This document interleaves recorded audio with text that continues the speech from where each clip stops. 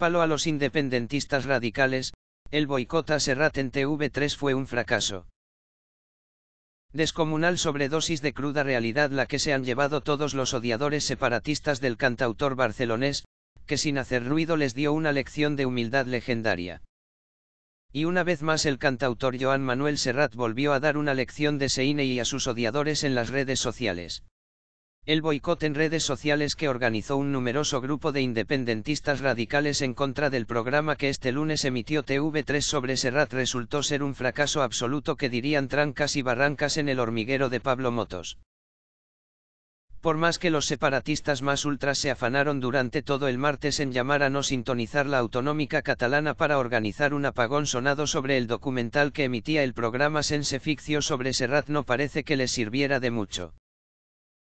sin hacer ruido, en un documental blanco e inocuo, alejado de cualquier polémica política y apto para votantes de cualquier partido, centrado en la faceta más entrañable del cantautor, su infancia y juventud, sense ficcio, Joan Manuel Serrat, el NOAI del Poble se marcó un 15.6% de cuota en Cataluña para TV3 ante 452.000 espectadores. Teniendo en cuenta que fue lo más visto de la cadena durante todo el día, solo por detrás de Telenoticias Vespre que logró 569.000 espectadores, parece más o menos evidente que el boicot fue un tremendo fracaso. No solo eso, sino que el sense ficcio de Serrat fue lo más visto de la noche en Cataluña por delante de todas las generalistas.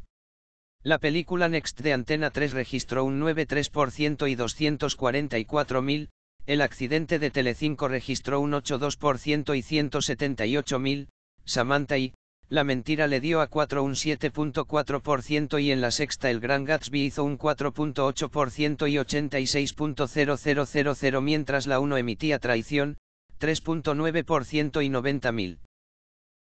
Cabe recordar que las declaraciones que hizo en su día Joan Manuel Serrat sobre la deriva del proceso independentista le han valido un aluvión de críticas dentro del seno del independentismo más radical, que en los últimos días se dedicó a promover un boicot en Twitter y WhatsApp que ha resultado ser un fiasco.